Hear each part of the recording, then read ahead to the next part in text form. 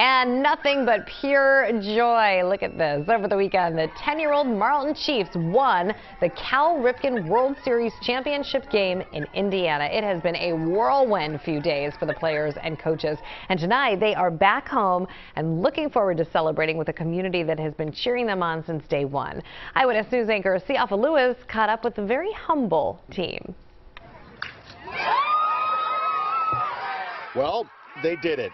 The Marlton Chiefs are your 2022 Cal Ripken World Series champions, making them the best 10 and under team in the entire country. Going into that, it was you know first and second, you know two outs, uh, tie ball game, just you know a scenario that every kid dreams about having. And uh, Michael got a great pitch to hit, and he put a great swing on it. As soon as it hit, you know I looked at it for a second, saw the outfield it was, and knew knew there was no shot he was catching it, and just just was just jumping for joy. But not only did they win the title, bringing it home to the leafy Burlington County, New Jersey suburb, but they went undefeated in the process, going a perfect seven and 0. Uh, we started off with a team from Hawaii, which was still amazing to play. I never thought this summer I'd be playing a team from Hawaii, and then we beat a team from Oregon, and then we finished up with the first team we played uh, from Florida and beat them, uh, which was amazing. All, all, the, all three games we came from behind, um, and just this team had no quit in them at all. The coach's son, Michael Appalucci, was named MVP, but you can tell he's a born leader by this response. I'm just happy that we uh,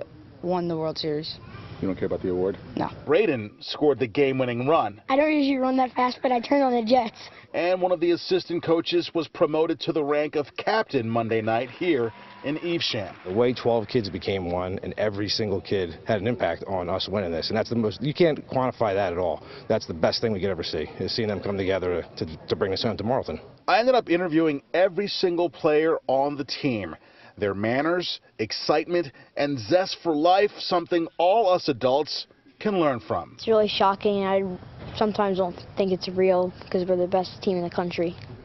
Well, I want to say I can't believe they did it, but that's not true because they have great coaches, supportive parents, a love of and for the game, and all the intestinal fortitude that 10-year-old boys can muster.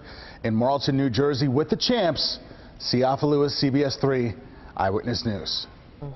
All right. Thank you so much, Siafa, and congrats to all of you guys.